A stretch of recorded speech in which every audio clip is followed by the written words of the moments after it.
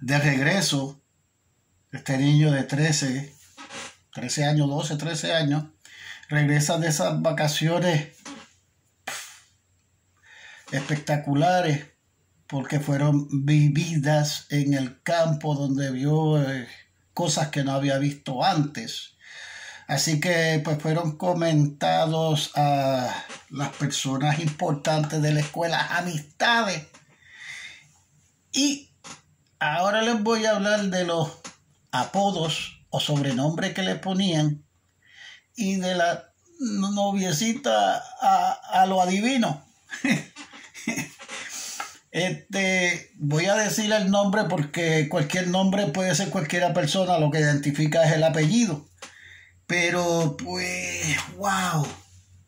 Vamos a empezar por los por los apodos o sobrenombres.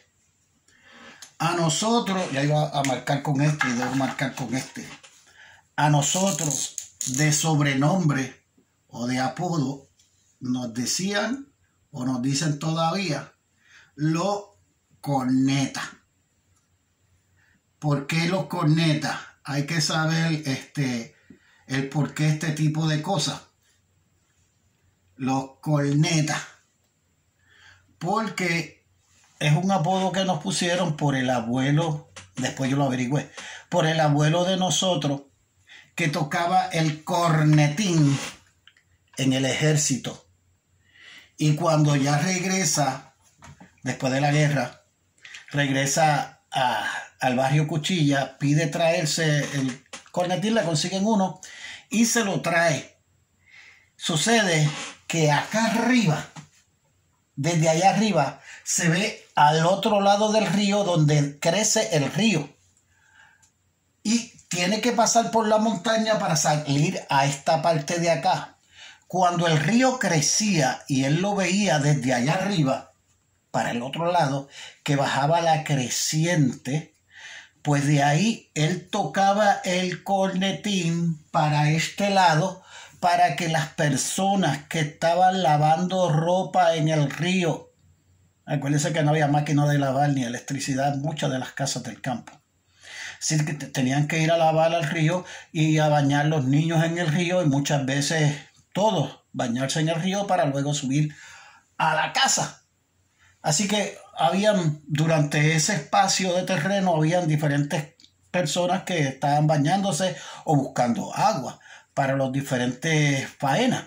Así que el tío, el abuelo de nosotros, tocaba el cornetín y al rato se veía la creciente y ya la gente estaba eh, pendiente a si tocó el corneta. Si tocó el corneta es que hay creciente. Así evitaron muertes. Eh, aparte de los cornetas, pues habían otros sobrenombres en el barrio. Están lo que le decían los morados, lo que le decían este, los cotorros, eh, las palomas, eh, familia, los chorotes Chorote es el achiote, pero diferentes nombres para no proseguir, los conejos, este, diferentes apodos que tenían. En la escuela, precisamente en la escuela, este, a mí me pusieron un sobrenombre. El maestro eh, Mr. Rivera de matemáticas fue que me puso de nombre Don Nepo. Mientras voy haciendo aquí este, un dibujito, pues explico. Don Nepo, cuando yo le pregunté que por qué me había puesto ese nombre, eh, yo pregunté en la clase, eh, durante la clase, mire, pero ¿por qué usted me dice ese nombre?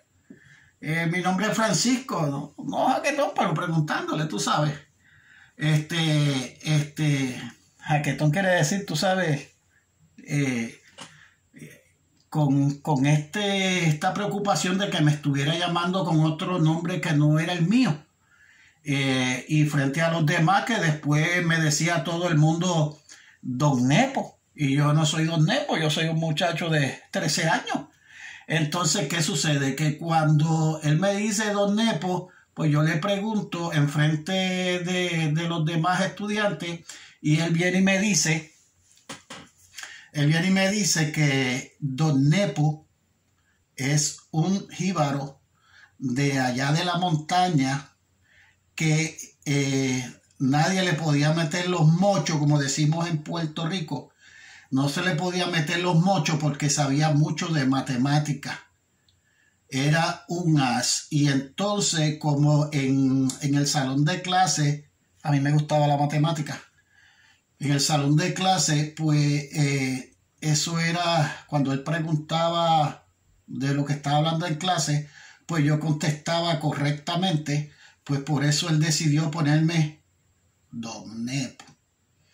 Y para ese entonces, que es lo que estoy haciendo aquí más o menos, este, enamorado a lo adivino. Aquí apareció esta niña, más o menos de mi edad también, básicamente de mi edad, y se llamaba Sonia. No voy a decir el apellido, pero me acuerdo de su nombre. Esta nena se sentaba casi siempre detrás de mí. Y cuando venían los exámenes, ella me tocaba por aquí detrás y me decía, Don Nepo, déjame ver la contestación de las cinco. Y yo disimulaba, alzando que estaba, haciendo que estaba memorizando, eh, chequeando la pregunta, y ahí ella venía de la parte de atrás, miraba y contestaba. El toque de poner su mano aquí con la confianza. Ella era rubia, no sé qué, después de ese tiempo no, nunca más la volví a ver.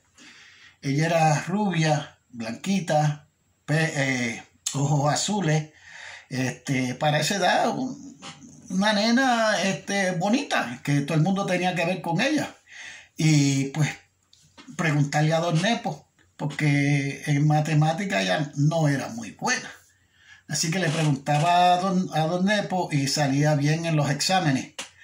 Este, y uno de esos días de excursión eh, nos llevaron a ver una represa de cómo se represaba el agua para llevar a los hogares. Y de ahí en adelante fue que pusieron las tuberías en las diferentes casas de Unibón y entonces pues el maestro nos llevó a esa excursión para que viéramos el proceso y pudiéramos explicar en las casas de cuál era el proceso de poner la tubería en vez de las plumas públicas, llevarlo hacia las casas.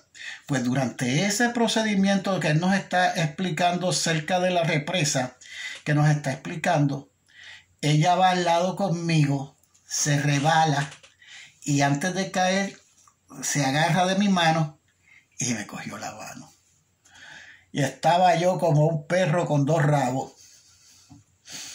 Así, contento.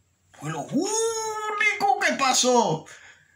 Pero durante ese tiempo, no, en, en esa edad, no, nada más, nada, nada más. Fue mi novia a lo adivino y nunca pasó nada más que ese simple toque de mano eh, para esa edad. Eh, explico a veces cosas jocosas porque sí, son vivencias que le pasan a cualquiera de diferentes formas y esa pues fue amor a lo adivino. A ella le pusieron el comisario ping, ping, ping, Ricochet Rabbit. Era un muñequito de un conejito y como ella era así, pues el maestro le puso ese nombre, le dio con ponerle ese nombre, la conejita. Pero era Ricochet Rabbit. Con ella se pasaba Gladys Padilla. Y en vez de decirle Padilla, le pusieron de apodo la ardilla.